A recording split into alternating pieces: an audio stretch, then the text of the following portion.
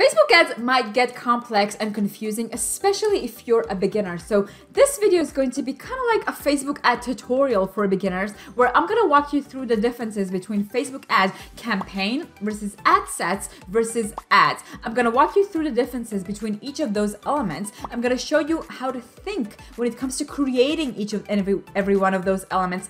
And I'm gonna walk you through a real life example of how I would structure a webinar campaign for your business if I was in your shoes. So if you're looking to grow your business or make more money by gaining a deeper understanding of Facebook ads, keep on watching because we're about to begin.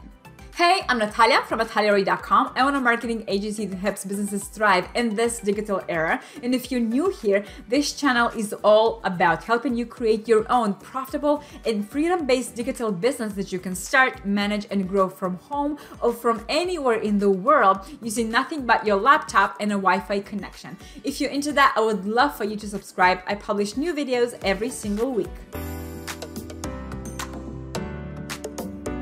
So as you log into your Facebook ad account, you will most likely see a screen that looks like this. And already, as you can see, all of the elements that we've already talked about are right here. You have your campaigns in this tab here. Then you have one tab for your ad sets and another tab for your ads. The thing is, if you're just getting started, it's probably terribly confusing as to how to think about each, how to use each. So a different way I propose you might start thinking about your Facebook ads is in a structure that kind of looks like that, where you have the high tier that is essentially your campaign.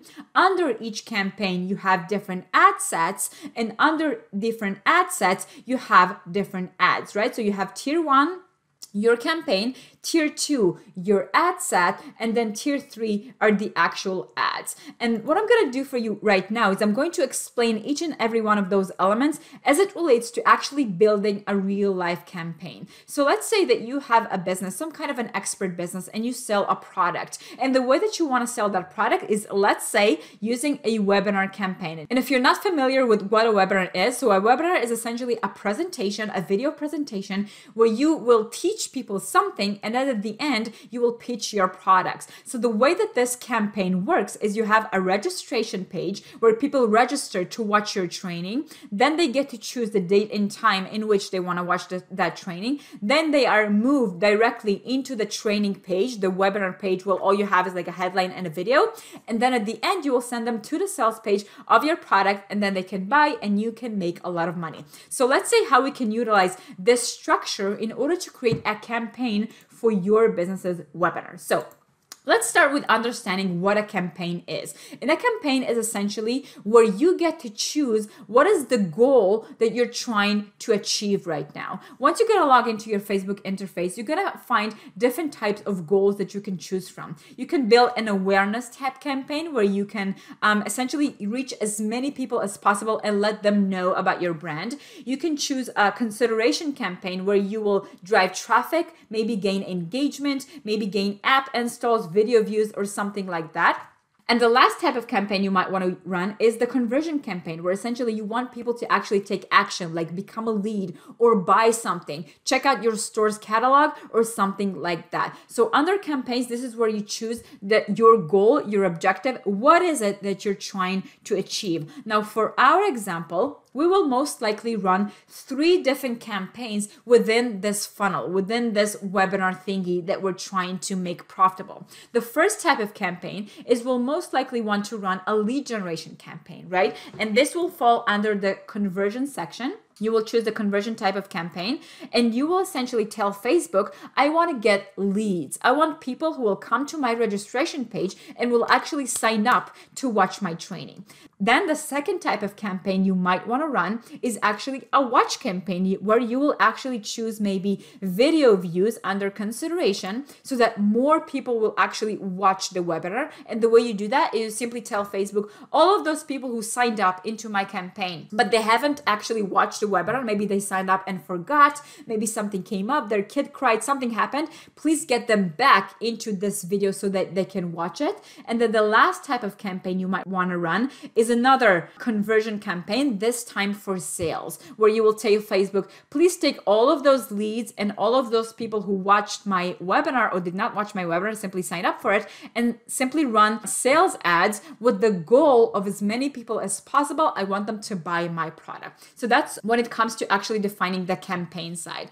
Now, once you define your campaign, you want to create your ad sets. Quick reminder Ad sets is in the second tier, the second level under a campaign. So a campaign might have several different ad sets. Not might, it will have several different ad sets. Now, the goal of ad sets is to actually choose your audience and your placements, meaning who do you want to target and where do you want them to see your ad? Do you want them to see your ad on their desktop? On their phone, on their tablet, where do you want this ad to be placed? This is the purpose of ad sets. And let me give you an example. So let's say that we um, have our lead generation campaign running for this webinar funnel, and we want to test different audiences to kind of see which audience give us gives us the best results. So for example, different types of ad sets that I might create under my lead generation campaign is an ad set for people who engage with my page, maybe page fans or Instagram Instagram followers. I will most likely run an ad set for my website visitors, another one for my email list, and, and another one for maybe fans or brands that are like my own. For example, Grant Cardone fans, Marie Forleo fans, maybe Gary Vee fans. And I'm gonna put all of these ad sets under my campaign and let Facebook tell me which of these people will give me the best results, right? Now, quick note here. There is also a thing where you will need to choose your budget for your campaign essentially but facebook does allow you two different ways of doing that. The first way will be through the campaign and the second one will be through your ad budget. So you can play with this and see which of those options you like more. If you have any questions about that specifically i can make another video about exactly how to determine your budget now, in the third part of our campaign, once we have set up our ad sets, it's time to determine which kind of ads we actually want to run. And again, ads are located under the ad sets, meaning for each and every one of the ad sets that you've already created. For example, for this campaign, we've created these types of ad sets. Under each and every one of those ad sets, we will have different ads to test. And the goal of testing ads is to see what kind of messaging lands best in order to achieve my goal. In other words, what should I talk about? What should I say in my ads in order to bring the best results? And here you can test different types of messages. For example, let's say that under my um, ad set of engage of people who engage with my page i have an ad that i can create where i talk about keto versus veganism. I have another ad that i talk about the perfect keto diet plan and maybe another ad where i talk about how to not give up when it's hard when your diet is not really working out as well as you would like it to be. And that's essentially how i structure my campaigns. So to summarize i will have different types of campaigns running for different goals that i have within my buyer's journey within my funnel. Then under each and every one of those campaigns, I will have different ad sets essentially targeting different types of people, right? Different targeting. And then under each and every one of those ad sets, I will have different ads so that I can test my messaging and see what lands best. Now, quick note, the way that I will most likely create this is I will create only one ad set at first. Under this ad set, I will create all of my ads and then Facebook will give you the option to simply duplicate your ad set so you will have multiple ads running for multiple ad sets and you can literally test what works the best. So I hope this video has been helpful for you in understanding what is the difference between Facebook ads, campaigns versus ad sets versus ads. If you have any questions for me, please leave them in the comments below. And if you haven't signed up to this channel yet, what is up with you? If you want to learn more about exactly how to start and grow your own online business, if you want to learn about how to create effective marketing for your business that comes from the heart and doesn't make you feel like a sleazeball, and if you want to learn how to manage your business productively, like the boss that you are, without your business ending up taking over your life, subscribe to this channel right now and hit the bell to be notified every single time I release a new video. I'm gonna see you in the next video. Until then, yalla bye.